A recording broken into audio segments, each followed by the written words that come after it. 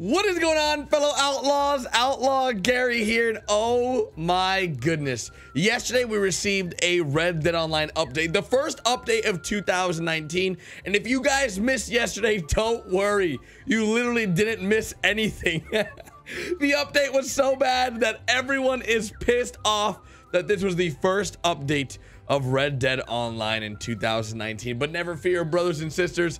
Outlaw Garry is here, and today we're talking about what future updates Rockstar has announced with yesterday's update, and we're gonna be going into detail with things like law and bounty upgrades, daily challenges, and more. So if you do enjoy the video, be sure to drop it a like. Let's go for 3,000 likes on this video, as I greatly appreciate all the support. And without further ado, Let's get into it. So kicking this right off, there are more updates to come. This is just the first of many updates to come in 2019. And unfortunately, starting off the year with this bad note is sort of upsetting, but we gotta have some faith, all right? I, I'm trying to remain positive. I'm right there with you. I know the pains that you're going through feeling like Red Dead Online is an empty shell or husk, I know what you're feeling, all right? I'm right there. I play this game every single day for three to six hours a day, so I know how you feel. So, uh, today's, so yesterday's update include the Gun Rush game mode. It has a free, free-for-all um, game mode as well as a team game mode,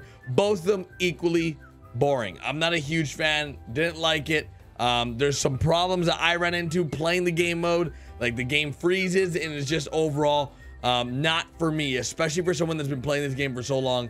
I want something large. I would rather it had a update that didn't include any new game modes, just fixes and bugs than the gun rush. But we gotta remain positive, right? We gotta, we gotta, we gotta be, we gotta remain positive. So, uh, they have some things coming in 2019 that uh, players gave them feedback on that include daily challenges. Now, this is something I'm super excited about.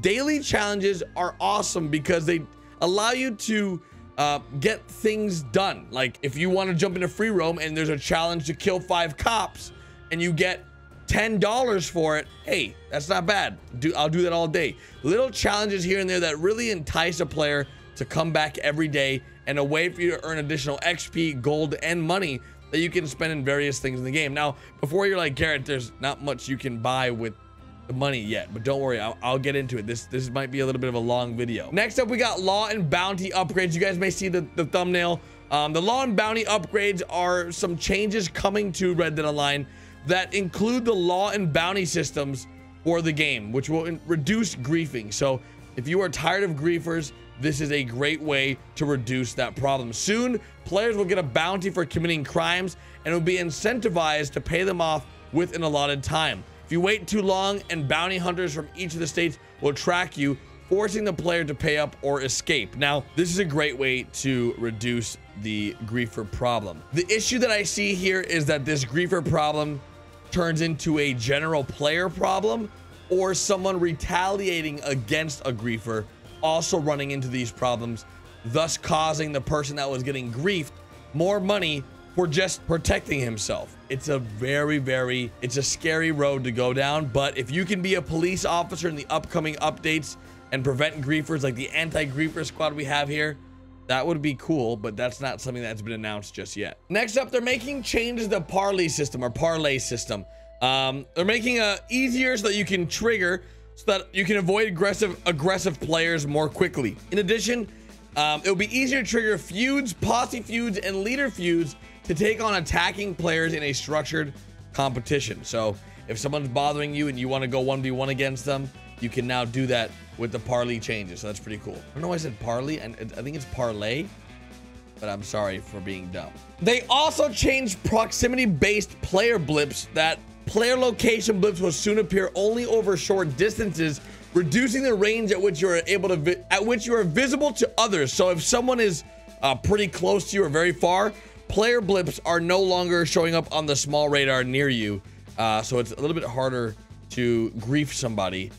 And I think it's a great addition. I think that's freaking awesome. They even mentioned down the line, they're looking at ways to make it so that people who just grief and kill for fun have a progressively darker blip on the map so you know to avoid that person because they have a reputation of griefing.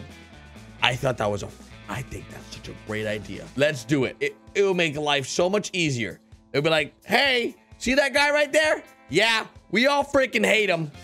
One big thing I want all my Xbox One viewers to know is that yesterday, you now have access to the red chestnut Arabian horse, the alligator skin ranch cutter saddle, and the high roller double action revolver in Red Dead Online.